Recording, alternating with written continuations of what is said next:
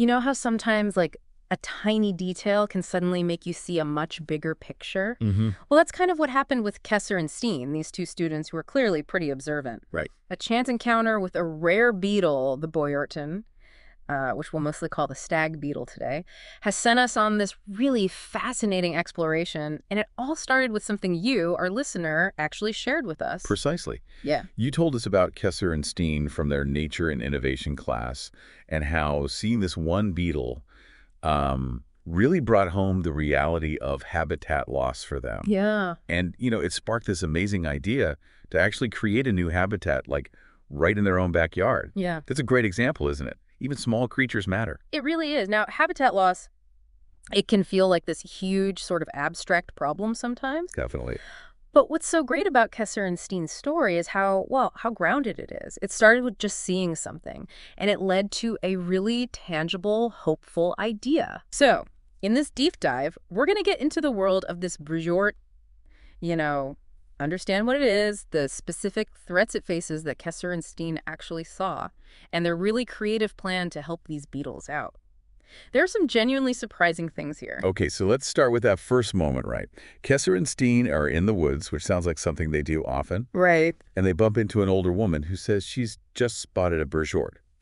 Now, what I found interesting was Kesser's first reaction. Skepticism. Yeah, a bit. You know, wondering if maybe she got the trees mixed up, like beech instead of oak. Because, well, both trees are common there. It's sort of a natural mental check. It is, yeah, it's relatable, isn't it? Your brain just tries to slot things in, but this is where Steen jumps in. Exactly. Quick phone search, Google to the rescue. And boom, visual proof. Steen shows Kesser photos, um, likely those excellent ones by biolog Anders mentioned in the source, showing this Bøghjort is definitely not the Eghjort, the oak stag beetle. Seeing the difference right there must have been convincing. Oh, absolutely. It really shows how, like, easily accessible info can just challenge what we think we know, right? It does. A good reminder to stay curious. Okay, so let's properly introduce this beetle. The Danish name, Bøghjort, literally translates to stag beetle. Because of the antlers. Precisely. Those mandibles. We'll get to those. And you might also see its scientific name, uh, Dorcus parallelopipedus. Bit of a mouthful. Okay, so Dorcus parallelopipedus. What does this stag beetle, this Bøghjort, look like? Well, the adults, they're not huge, about two to three centimeters long. So roughly an inch. Yeah, around that. And Yeah. they're distinctly black. The most noticeable thing, though, is definitely those mandibles, those big jaw-like things at the front. Right, the stag part. Right, exactly. And that's where you see a big difference between males and females. The males, they have these really large, impressive mandibles. For fighting. Yep, exactly like deer antlers, they use them to fight off other males. The females, though, their mandibles are smaller, Hmm. but interestingly, much stronger Stronger. Why is that? for chewing through wood, presumably for egg laying. And fascinatingly, even when they're larvae, you can apparently tell the females apart. They have these visible creamy white fatty bits, the ovaries, that you can actually see through their skin. Wow. Okay.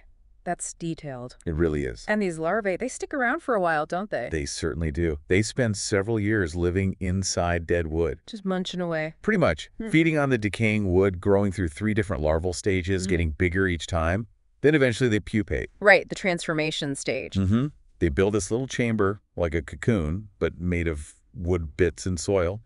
And inside that, they change into the adult beetle. And once they're adults, they don't live quite as long. Relatively speaking, no. Their main adult activity period is in the summer, say May to August.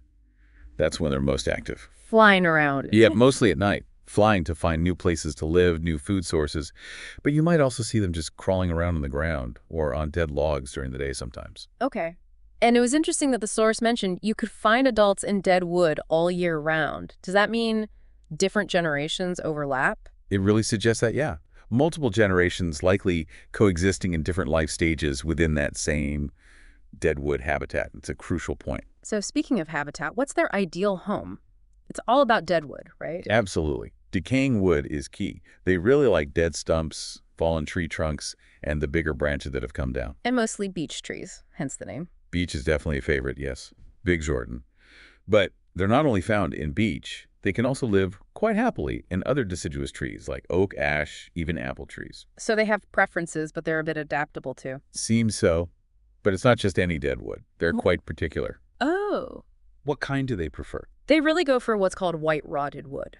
White rotted. What's that mean? Okay, so think of wood decay having different types. Brown rot mainly breaks down cellulose, leaves stuff crumbly and brown. White rot, though, it breaks down lignin. That's the tough stuff holding wood fibers together. Ah, okay. So it leaves the wood looking whitish, maybe a bit stringy. And it seems this is easier for the larvae to digest. It's like their food is pre-softened. Makes sense. And what's also really interesting is a possible link with certain fungi, especially bracket fungi. You know, those shelf-like fungi you see? Yeah, yeah. Well, one called Trametes versicolor, it's often quite colorful, seems like it might be a really important food source for both the larvae and the adults. Wow, so the fungus helps break down the wood, and maybe the beetles eat the fungus too? It seems possible, yeah. It shows this whole interconnected system, doesn't it? Remove the dead wood, and you affect the fungi, you affect the beetles. It all links up. It really does, and it explains why we don't see them often, right? Nocturnal, hidden inside wood. Exactly. Yeah. Which brings us right back to Kesser and Steen's observations. This is where the connection to the threats they face gets really clear. Right. Kesser noticed people basically vacuuming the forest floor. That was his term, yeah. Vacuuming it for firewood. And not just people grabbing a few sticks, but this trend of buying pre-dried wood in bulk too. Meaning a lot more wood is being taken. That's the implication. A widespread removal of dead wood from forests. Kesser's point was stark. Almost nothing is left behind. And that's the beetle's home and food source gone. Exactly. It directly impacts creatures like the Bøghjort that need that dead wood for their entire life cycle. In Steen's comment, the pommes frites zone. Ha, yeah. It's such a vivid phrase, isn't it? It really is. This idea of nature being overly neat, too tidy, almost like, well, perfectly cut fries instead of a natural messy forest floor. It lacks that essential decay. It's funny, but also kind of sad. It really highlights how we try to impose tidiness everywhere. It does. And for Kesser and Steen, this was the light bulb moment, wasn't it? Yeah. Suddenly, they understood why they'd never seen this beetle before. Not because it was totally gone, but because its home was disappearing. That's a powerful realization. And what's great is what they did next. They didn't just feel bad about it. They wanted to do something. The backyard habitat idea. Exactly. Let's help the beetles by creating a small habitat. And Oma's eco-friendly backyard sounded like the perfect spot. I love that. Taking action. And they were smart about it, too. They talked to an expert, Biology Anders. Right. Got proper advice. Yeah, And while he was advising them, they were apparently sketching designs. That's real engagement. totally. So what kind of practical advice did the biologist give? Things we could potentially do, too. Yeah, definitely. A key thing he mentioned is that these beetles, they don't tend to travel very far from where they emerge as adults. Okay, so they're quite local. Very. Which means if their immediate area lacks that dead wood, they're stuck. So creating habitats locally is super important. You can't just build one miles away and expect them to find it. Right, makes sense. And the wood needs to be touching the ground. Crucial point, direct contact with the soil. It's important for the larvae, which sometimes go into the soil, and also for the females laying eggs. So leaving an old tree stump in the garden is actually a good thing. A really good thing. Yeah, instead of grinding it out, just leave it. It can become a cool natural feature and a beetle home. Nice. And uh, obviously, no pesticides, right? Absolutely essential. Fun. Avoid pesticides. They harm way more than just the pests. Hmm. And a couple of other simple tips, Go on. like putting a stick or some stones in water buckets, Oh, yeah. Why? just so if any small insects, beetles included, fall in, they have a way to climb out. Simple grounding prevention. Huh. Never thought of that. And another one, be careful with landscape fabric, that black weed blocking stuff. Yeah. Apparently beetles emerging from the ground can get trapped underneath it and die. Oh, wow. Okay. That's a hidden danger. What if you, like, accidentally dig up some larvae, say, taking out an old fence post? Good question. If you find larvae in wood you have to remove, the best thing is to carefully dig a hole elsewhere in your garden. Put the larvae in there, along with some of the original rotting wood. Okay. Then just cover it loosely with soil. You're basically trying to relocate their little home environment. Got it.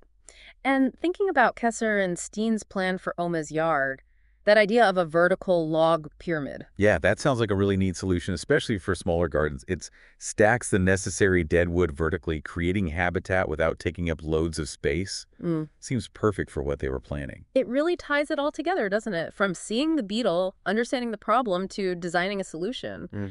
The main thing here really is how vital that decaying wood is. It's not just waste. Exactly. It's habitat. It supports fascinating creatures like this Bøghjort. And Kesser and Steen show that you know, even small actions in our own spaces can help. It really does make you think about your own backyard or local park, doesn't it? What could I do? Mm -hmm. Which leads us to that final thought for you, listening today. Just take a moment to reconsider those messy bits of nature. Yeah, the fallen logs, the leaf litter, the untidy corners. Exactly. Think about the amazing life they support. And maybe look around your own environment with new eyes. What other little things, maybe things you haven't noticed before, could be vital homes for unseen creatures? It's about observation, isn't it? Just like Kesser and Steen. Observe, learn. And maybe, just maybe, be inspired to act. Learning about nature isn't just passive. It can lead to a deeper connection and maybe making a real difference, even a small one. You know how sometimes, like, a tiny detail can suddenly make you see a much bigger picture. Mm -hmm. Well, that's kind of what happened with Kesser and Steen, these two students who were clearly pretty observant. Right. A chance encounter with a rare beetle, the Bøghjort,